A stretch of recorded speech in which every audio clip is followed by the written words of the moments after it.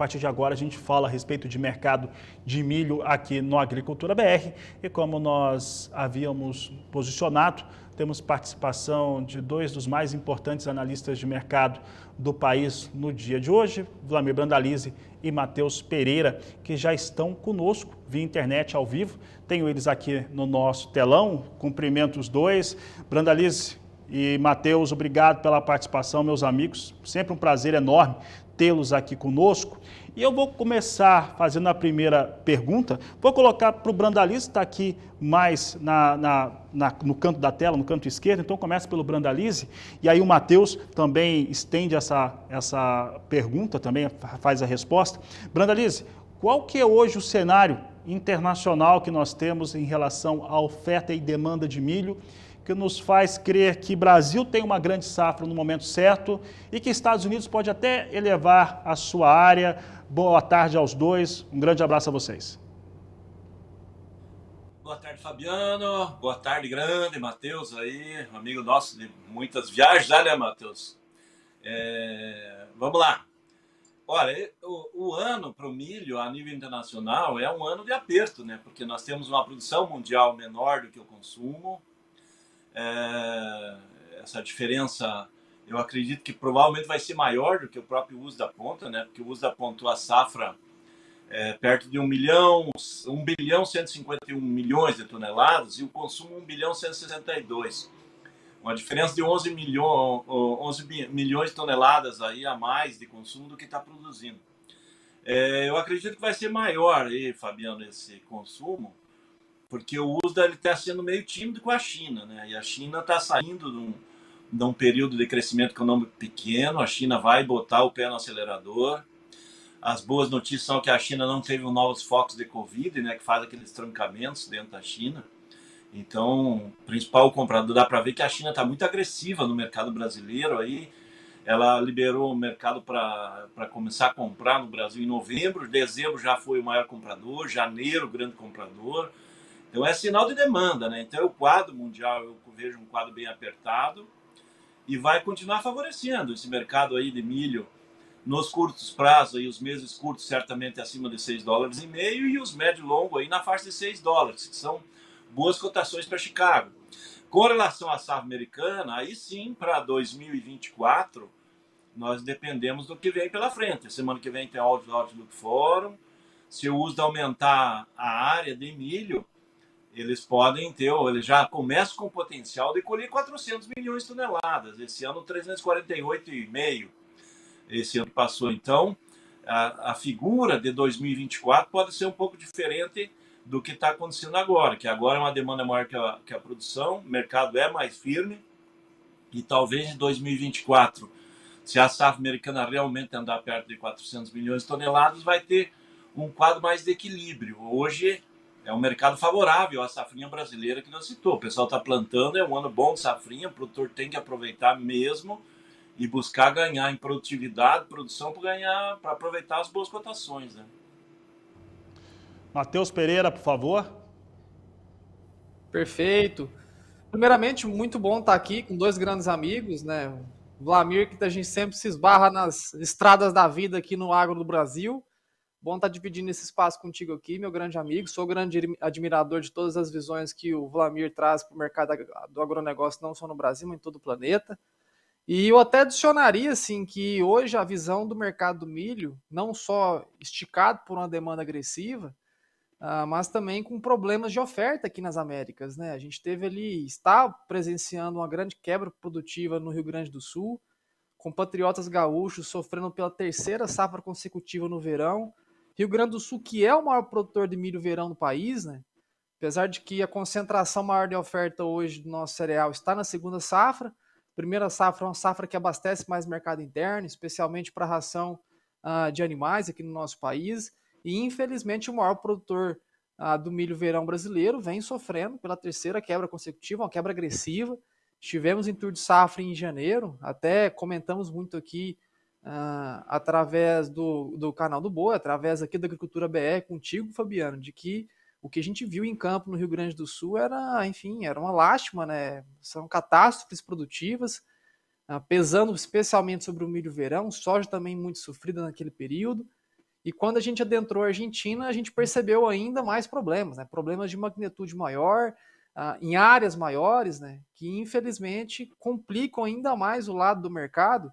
Quando a gente vê o lado da demanda né? Uh, esticado por China, como o Vamir já bem desenhou, e agora com uma, uma escassez né? da reposição de oferta nesse primeiro semestre. A gente tem que lembrar que esse primeiro semestre do ano é um semestre onde o hemisfério sul coloca né, uma nova safra de milho no mercado.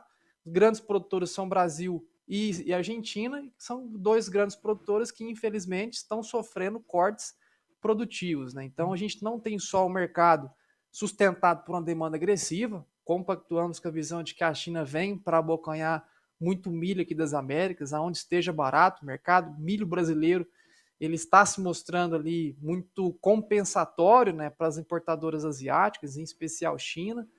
Ah, não só isso, agora a gente tem os problemas da oferta, que são dois pontos aí que sustentam sim os preços do milho, Fabiano e Vlamir. Muito bem. É, Matheus e Brandalize, hoje eu estou tendo aqui a participação dos meus colegas de Canal do Boi e eu vou convidar agora o Daniel Catuver. É o Daniel Catuver é o jornalista que está no site, nas redes sociais do canal do Boi, e ele tem uma questão para vocês dois. Daniel, boa tarde. Olá, Fabiano. Boa tarde para você, boa tarde aos nossos especialistas e a todos que acompanham a Agricultura BR desta quarta-feira. Bom, Fabiano, os nossos programas agrícolas e o canal do Boi têm abordado aí nos últimos meses o grande déficit global de milho e também uma safra recorde aqui no Brasil. Aliás, esses assuntos estão disponíveis para vocês conferirem novamente no nosso portal de notícias, sb1.com, canaldoboi.com e também no nosso canal no YouTube. Tendo em vista esse cenário de oferta e demanda, a pergunta que eu tenho para os nossos especialistas é a seguinte: a segunda safra brasileira de milho tende a aumentar nas próximas campanhas? Vou direcionar essa pergunta para o Matheus começar respondendo. Matheus e depois Brandalize, por favor. Olha, a ampliação de área segunda safra de milho no Brasil ela é uma tendência normal, sazonal, assim, é, é natural que haja crescimento. Neste ano em específico, o produtor ele está mais comedido, né? Ele sofreu uh, por preços de insumos no passado extremamente agressivos, deixou para fazer as aquisições mais próximas de plantio. A gente ainda vê que será uma safra uh, de uma área significante, porém ainda muito complicado de determinar a capacidade de expansão. O produtor está mais averso, ele sabe que não só esses atrasos pontuais de colheita está impedindo né, colocar a segunda safra dentro de uma janela ideal.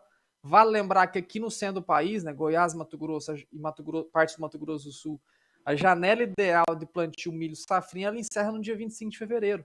Falando aí mais de 10 dias uh, para o encerramento dessa janela ideal, aonde o produtor ele está ele tá assustado. Ele, ele realmente entende que é uma, uma safra com uma alavancagem de custo acelerada, porém o mercado por si só, os preços atuais sustentados, ele gera aquele estímulo da tomada de risco.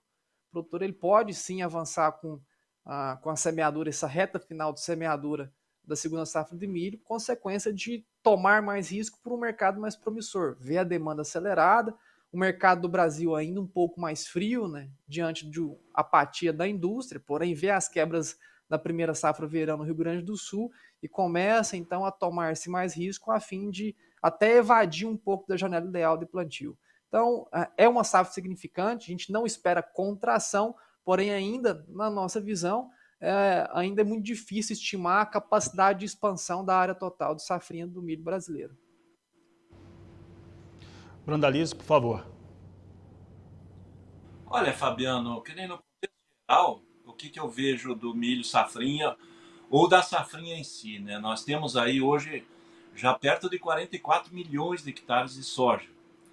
E desses 44 milhões de hectares, a gente pode tirar uns 15 milhões de hectares que são de áreas que, que dificilmente vão ter uma safrinha de milho ou sorgo na sequência, que são as regiões do Rio Grande do Sul, parte sul do Paraná, regiões que não têm a condição de se entrar com a segunda safra no caso de milho ou do sorgo, né? Que o sorgo é uma alternativa importante também para para esse produtor. Como nós estamos aí com 17, 18 milhões de hectares aí para safrinha, nós temos um espaço muito grande ainda para crescer, né? Porque a gente pega e tira a área de algodão, algumas áreas aí do, do caso de feijão que o pessoal planta, o restante das áreas potenciais, certamente no futuro eles vão ser todos tomados com soja, aliás, com milho ou sorgo. O que está vindo pela frente são variedades de sementes de soja com ciclos ainda mais curtos, cultivares de milho com ciclos mais curtos, que vão conseguir colocar dentro dessa janela possível para a gente continuar uh, plantando as duas culturas. Eu acredito que o milho vai continuar em expansão brasileira, momentos cresce mais rápido, momentos mais lentos, porque nós vamos ter que suprir essa grande diferença que a China já está consumindo hoje praticamente 300 milhões de toneladas e está produzindo na faixa de 270, então não consegue avançar. Então há um déficit por lá já de 30 milhões de toneladas, se a gente olhar friamente. E certamente a China tem atritos com políticos com os americanos, e nós temos que levar em consideração que essa guerra lá na, na Ucrânia, ela também dificulta a produção de milho na Ucrânia. Então, para os chineses, o mercado para abastecimento é o Brasil. E para nós continuar crescendo a safrinha do milho é ter demanda, né? Não adianta a gente querer crescer a safrinha se não tem onde colocar o milho. Então, como temos áreas potenciais e temos demanda possível, eu acredito que vai continuar crescendo, certamente sim. E a dica a gente dá, o produtor que vai estourar a janela, opte pelo, pelo sorgo, porque o sorgo é uma cultura que precisa menos água e ele também tem uma demanda muito forte aí no setor da pecuária, no setor da ração, o pessoal do etanol. É uma alternativa muito boa para aquele que nem o Matheus falou. Tem um pessoal que já está com problema aí de, de, que vai estourar a janela, então na janela joga o sorgo. Eu, para mim, sorgo e milho são hoje são dois irmãos aí para fechar o ciclo e aproveitar o máximo das, que nós temos para o produtor continuar tendo renda aí e continuar crescendo, né? trazendo divisas para o Brasil e continuar crescendo internamente. Brunalise, Matheus, nós temos uma realidade aqui no, no Brasil. O produtor é, tem adiado bastante a sua comercialização de soja é, claro que isso mexe um pouco também com a capacidade do Brasil, que, que, as fazendas, propriamente dito, têm de armazenar esse grão, enquanto que estão começando a semear esse milho no Centro-Sul e a expectativa também de uma grande safra. Né? Como que está sendo essa relação no momento? Porque tanto a soja quanto milho tem comercialização lenta. Por enquanto, parece, de certo modo, uma decisão acertada. Quero saber se vocês concordam com isso e como está essa relação. Pode começar com Brandalize respondendo aqui, por favor. Olha, Fabiano, o produtor tanto do milho como soja, ele já perdeu boas oportunidades. Agora a gente está vendo aí que Chicago já começa a acomodar, sabe, brasileiro está atrasado tivemos uma perda do sinal do, do Vlamir Brandalize, né? A gente segue aqui. É, vou voltar com o Brandalize agora, parece que voltou. É isso mesmo? Brandalize, tivemos uma queda de sinal, você pode retomar aí a sua fala. Então vamos lá. Então, eu acho que, que essa comercialização do produtor, ele perdeu oportunidades importantes para trás aí. E há uma possibilidade de mais pressão de baixa aí na sequência, em função de que a nossa safra ainda está toda ela para ser colhida, nós estamos aí com é, menos de 30% dela colhida, o Mato Grosso que está na frente perto de 50% nesse momento, e muito para negociar. O produtor começou o ano aí temendo né, esse novo governo, temendo o que vem de políticas, mas os níveis de valores aí da soja em dólares agora começam a perder fôlego, né? Porque automaticamente nós temos uma safra brasileira chegando, Teve algumas chuvas na Argentina, teve chuvas aí, está tendo hoje também no Rio Grande do Sul, que já vai dar uma amenizada na, no ritmo das perdas. Isso é pressão, né? Então, automaticamente, o mercado já lá do segundo semestre. Matheus, por favor, vou pedir para o Matheus retomar aqui. Nós tivemos uma nova queda de sinal com o Brandalize. Matheus, mesma pergunta em relação a esse posicionamento do produtor rural em relação à comercialização, tanto de soja quanto de milho. Perfeito. É, a gente tem que entender que hoje a, a, o, o, produtor rural como um todo no Brasil, ele vem calejado de dois, três anos passados, né? Onde a venda pós-colheita ela foi compensatória. Uh, tanto eu quanto o Vlamir Brandaliz, que também somos produtores, né? Sentimos na pele também todo o dia a dia do setor rural. Não somos só apenas analistas que ficam atrás de telas ali analisando, a gente está vivendo isso no campo. Uh, que a gente entende que o produtor rural como um todo, calejado pelo passado de curto prazo, ele viu que o mercado no passado reagiu com agressividade de colheita. Infelizmente, agora para 2023, o produtor como um todo ele foi pego no contrapé, assim dizendo. Né? Não avançou com essas vendas, tomando muito risco uh, diante desse novo governo, receoso com o que poderia vir pela frente, optou por segurar o grão na mão a fim de se proteger financeiramente das incertezas que essa política trazia, e agora a gente está vendo essa certa pressão generalizada nos preços da soja. Uh, a gente vive um excesso de oferta, uma incapacidade logística, a gente passou virtualmente, né, numericamente, a produção total de grãos de soja, milho, arroz, grãos em geral, safra verão, ultrapassou a capacidade instalada de armazenagem no Brasil. Efeito apenas psicológico para mostrar o quão grande né, é o problema logístico do país nesses primeiros meses do ano. Então, esse excesso de oferta agora ele tem causado não só uma depreciação uh, da nossa soja reais por saca, como consequência de prêmios já no campo negativo, um Chicago pressionado e incapaz de justificar novas altas. Então, de fato, o produtor hoje ele vive um problema mais sério de uh, não só ter a soja no grão para ser vendida, mas a incapacidade de viabilizar o negócio. A gente já está tendo algumas trades, especialmente em localidades com logísticas mais problemáticas, né, como é o centro do Brasil, algumas trades compradoras já evitando as compras no disponível, já alegando que retomarão os negócios a partir de meados de abril. Então, isso é um grande problema, infelizmente, ao produtor, que tem que procurar alternativas né, logísticas quando, tem, quando estão em regiões mais remotas do nosso Brasil e ficam na mão de poucos compradores. Né? Então, é o grande problema hoje que a gente vive, né, tanto da incerteza quanto do que viveu num passado de curto prazo esse produtor em evitar as vendas antecipadas. Senhores, eu vou aproveitar e trazer algumas perguntas de telespectador agora também. E aqui nós trazemos a pergunta do Gabriel Araújo, de Ouricuiri, no Pernambuco. Está né? Tá perguntando sobre as perspectivas do milho na região nordeste do país. A gente sabe que teve ali uma, um andamento um pouco melhor na região do Cealba, como é que vocês estão avaliando, e aí vocês podem ficar à vontade para responder, esse desenvolvimento de algumas culturas que não eram tradicionais no Nordeste e começam a ter uma melhor situação de, de cultivo? Olha, Fabiano, vamos lá. Agora estou conseguindo falar aqui, estava cortando para mim. O Nordeste ele sempre foi uma região que consumiu mais milho do que produziu. Então é por isso que está se abrindo essas novas, essas novas frentes de produção, de áreas uh, de potencial produtivo e trazendo condições boas, né? E o Nordeste vai continuar tendo uma demanda crescente muito grande, porque a população do Nordeste é muito grande, cresce muito mais que a média nacional e automaticamente aumenta muito a demanda de produtos aí é, que dependem de milho, como do ovo, da carne de frango, é, aqui é os, os, os grãos, aí vai, no caso do milho, que vai para a ração. Então, é, isso tem muito potencial. E esse alba ali surgindo como uma alternativa muito boa. Eu acho que ainda tem muito potencial de crescer a produção do Nordeste em função da questão de logística, né? O transporte longo, longo aí do milho, ele fica caro e a produção mais próxima certamente vai aproveitar um mercado crescente que tem em toda a região Nordeste, né?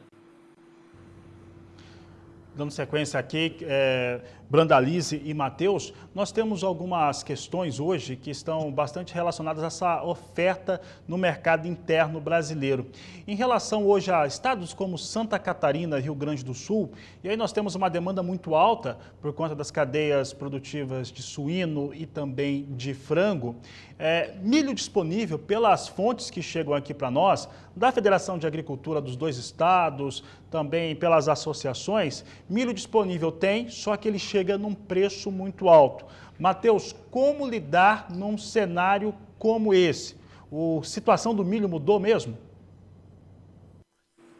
Olha, muito bem, é algo até que a gente vem alertando para a clientela há algum tempo, né, da falta de arbitragem no mercado, que é o que? É o preço que o comprador está disponível a vender e o preço que o vendedor, que o comprador tem capacidade de pagar a gente está sofrendo muito da arbitragem do milho, né, que é a falta de negócios realizados, porque o comprador uh, não consegue pagar o preço pedido e o vendedor não, não, não está susceptível a baixar o preço para fornecer aquele, a cadeia. Né? Então, a arbitragem do, do mercado do milho esse ano está complicada, uh, é uma realidade de escassez de produto, apesar da gente ter ainda estoques remanescentes safra passadas, safra verão, que está em processo de aceleração de colheita nas próximas semanas, a gente infelizmente está tendo essa, essa dificuldade né, do produtor em, em tomar a decisão da venda, visto que a realidade do mercado ela mudou. A gente tem um suporte de preços altíssimos ao mercado, consequência de quebras de oferta, de uma demanda para exportação mais acelerada.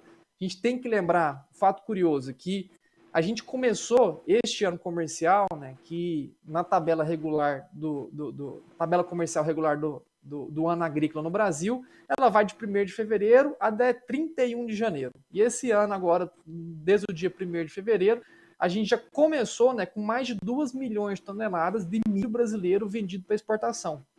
Tradicionalmente, a média seria algo em torno de 200 mil, 300, se não 500 mil toneladas. A gente já está com 2 milhões de toneladas já vendidas para exportação nesse período do ano, ou seja, cinco vezes mais do que a média, nove vezes mais do que o mesmo período do ano passado. Então, a gente já tem muito milho já sendo colocado em linha de embarque para exportação. A indústria está com dificuldade de compra? Está com dificuldade de compra. Porém, no atual cenário, é um mercado hoje altista, impulsionado principalmente por uma demanda, como o Vladimir bem já iniciou lá no começo, quanto também por quebras produtivas muito agressivas aqui da safra de verão. Safrinha agora, que é o grande grosso né, da, da safra nacional de milho, está apenas nos seus primeiros passos, algumas, uh, algumas previsões climáticas não trazem um cenário tão agradável para Goiás e partes do Mato Grosso, porém, inicialmente, uma safra regular até o momento. Então, cabe muito ainda atualização climática para determinar a dimensão total da oferta do milho brasileiro. Brandalize, eu vou fazer o seguinte, o Daniel Catuver está recebendo é, perguntas também de telespectadores, vou pedir para a nossa equipe trazer o Daniel. Daniel, quem está que tá participando conosco? Oi, Fabiano, estou de volta e trago agora dúvidas dos nossos telespectadores que estão participando aí por meio da nossa programação, das nossas transmissões e também por meio do nosso WhatsApp. Aliás, se você também tem dúvidas, quer fazer perguntas, quer fazer os seus comentários, envie para o nosso WhatsApp no número 67 99264 7810 ou também pelos comentários no Facebook e no YouTube, onde está rolando a transmissão dessa mesa redonda do programa Agricultura BR. Bom, a pergunta que eu trago aqui, primeiramente, é do Matheus Carvalho, lá de Piracicaba, em São Paulo, e ele quer saber: as referências de preço do milho no Brasil mudaram? Vou direcionar para o Brandalize, está bem de acordo com o que a gente estava falando dentro do, do programa, Brandalize. Mudou o patamar de preço de milho no Brasil?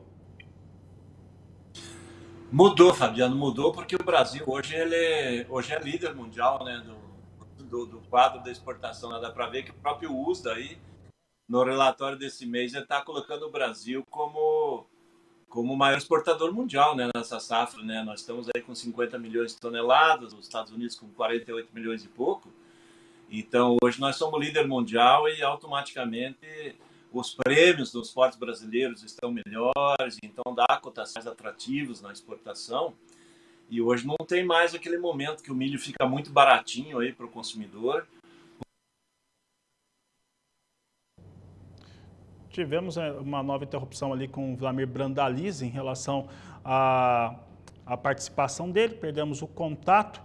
Agora sim, Brandalize, vamos ver se a gente tem, se o Brandalize está nos ouvindo mais uma vez.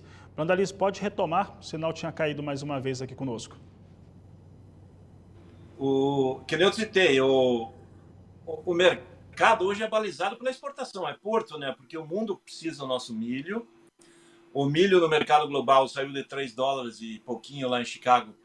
E, e, o, e hoje ele está acima de 6, né? Então é, é, isso que nós seguimos. É aqui dentro o consumidor que pagava 30, 40 reais, menos de 50, hoje na indústria é milho de 85 95, né?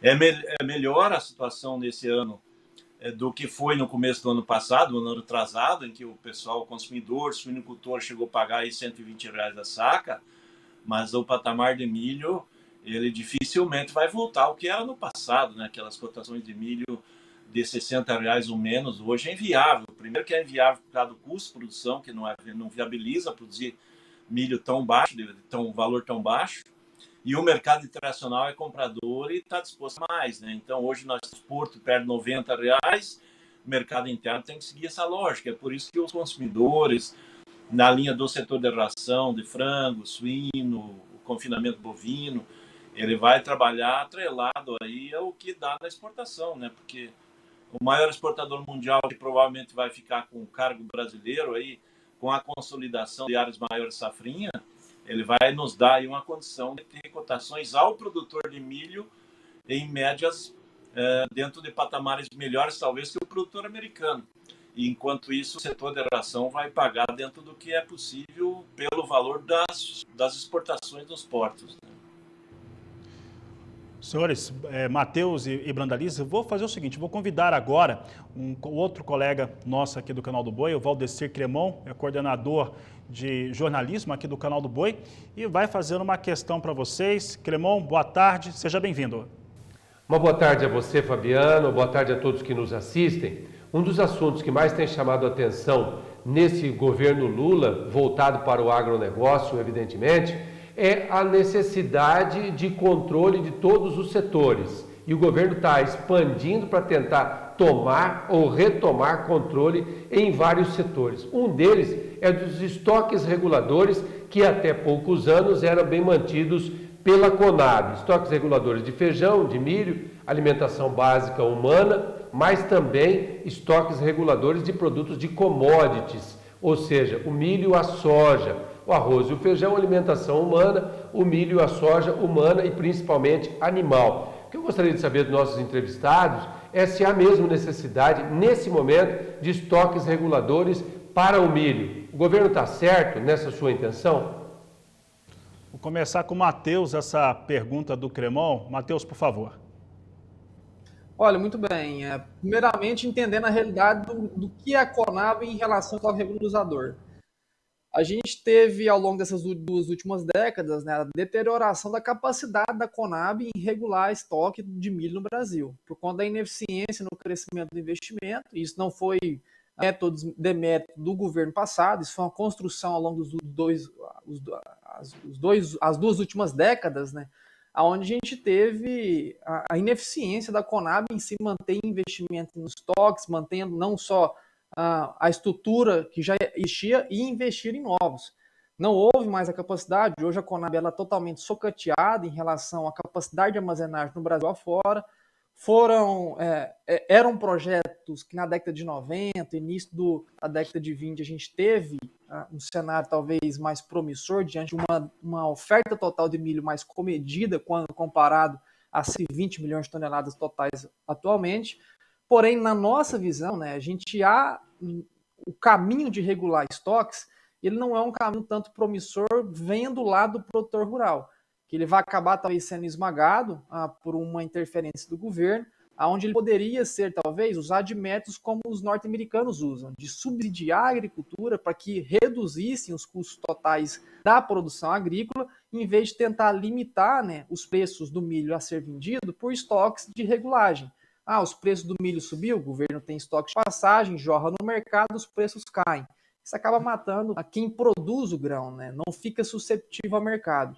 Quem incentivar a maior oferta, distribuir mais tanto para indústria doméstica quanto para exportação, dependente de preço, que subsidie o produtor, que reduzam os custos para não matar nenhum elo da cadeia. A gente regular estoque e liberar estoque quando a, a acreditar que os preços estão esmagando a indústria ou esmagando a exportação, é melhor que a gente subsidie os custos de quem está lá na base produzindo, para que não haja, enfim, é, uma redução da oferta potencial com longo prazo. Caso contrário, os produtores serão cada vez mais desincentivados por controle de mercado a expandir a área de milho, enfim, colocar mais tecnologia em campo, investir nas suas propriedades. E no longo prazo, infelizmente, isso não pode ser tão promissor. Vladimir Brandalize, você quer complementar? Olha, Fabiano, eu vou colocar um ponto aí. É, o governo prometeu um monte de coisa, né? Mas a questão de fazer estoque precisa de dinheiro. O produtor não vai dar de graça o milho, o arroz, o feijão para o governo. E hoje, jogando por baixo, cada um milhão de toneladas de milho precisa um bilhão de reais para comprar. E vai carregar estoque, vai ter custo financeiro. Então, é mais 170 milhões aí por ano aí em cima desse estoque. Eu acho que é inviável, é inviável. Isso é fora da realidade do mundo moderno. Então, não vai ter dinheiro, não vai ter caixa para fazer estoque. É só conversa. Eu acho que não tem, não vai conseguir andar isso aí, não. Bom posicionamento, senhores. Vou seguir aqui trazendo meus colegas que estão participando. Agora eu convido o Jorge Zaidan. Ele é editor e apresentador do programa Mais Pecuária, aqui no canal do Boi. E faz agora a pergunta aos nossos convidados da tarde de hoje. Zaidan, boa tarde. Boa tarde, Fabiano. Boa tarde a todos que participam desse importante debate para o nosso agronegócio. O milho é hoje uma das principais culturas no mundo. A estimativa de produção mundial agora está em 1 bilhão e 100 milhões de toneladas. O Brasil é o terceiro maior produtor, com estimativa de colheita este ano de 125 milhões de toneladas, um recorde. Ocorre que o milho está sendo cada vez mais demandado e por diversos setores: alimentação, óleo e também energia. Para se ter uma ideia, parece que um terço do milho produzido nos Estados Unidos vai para a produção de etanol. Aqui no Brasil, a estimativa é a de que 15% de todo o combustível produzido no país venham também do milho. E o produtor de carnes, suíno, aves e bovina, depende muito desse insumo importante para alimentar os seus animais. A pergunta que eu faço, deixo no ar, é a seguinte: qual a expectativa que o produtor deve ter com relação à oferta de milho que ele vai ter este ano para alimentar os rebanhos? E a segunda expectativa é a que preço o milho deve chegar ao produtor? Muito obrigado. Obrigado, Jorge. Obrigado, Jorge Zaidan. Vou começar essa resposta pelo Brandalize. Por favor, Brandalize.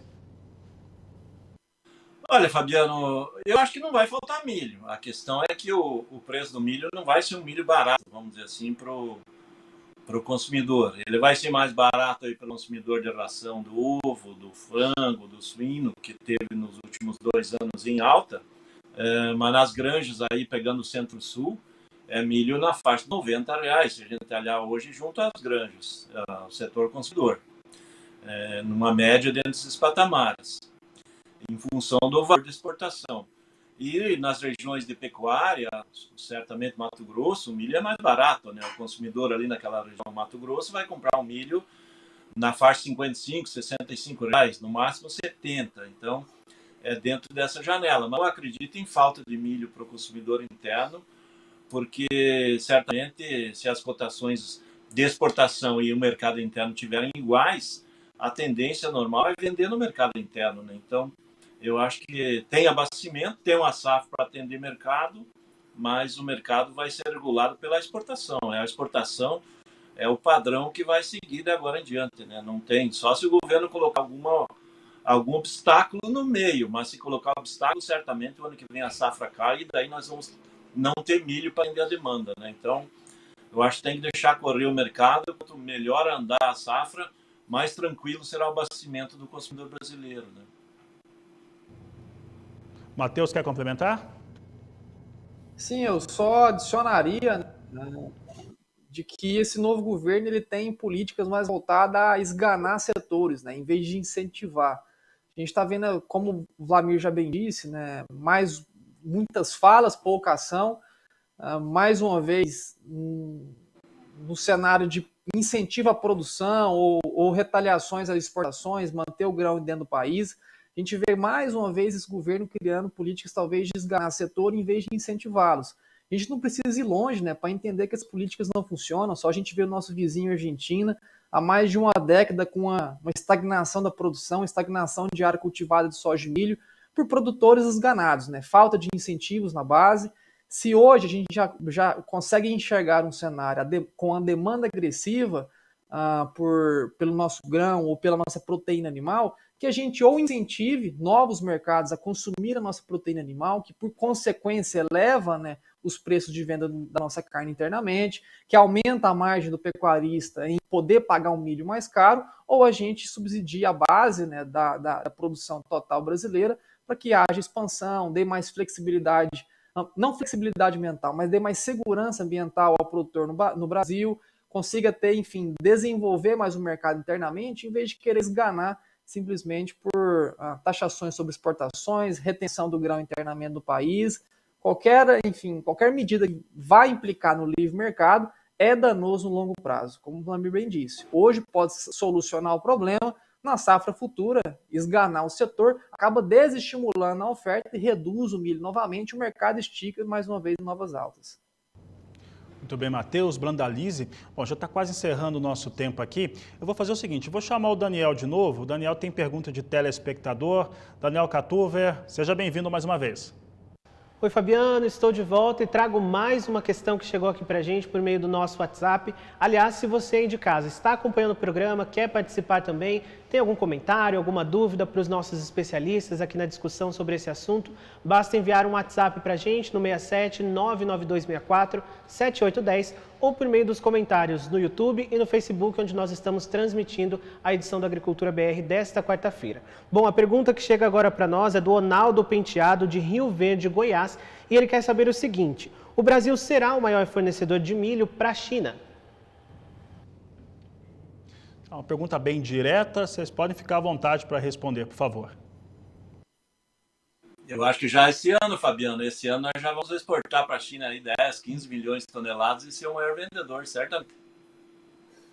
Sim, sim. É. A, gente já, a gente já compromissou grande parte dessas 2 milhões de toneladas que a gente já tem em fila de embarques a, do milho brasileiro, cerca de 70%, mais de 1 milhão e 200 mil toneladas já são 1 milhão e 200 mil toneladas já são de destinos para a China. Então, a China vai ser não só a maior compradora de milho do planeta, mas o Brasil vai ser o maior fornecedor de milho para a China, assim como já é na soja.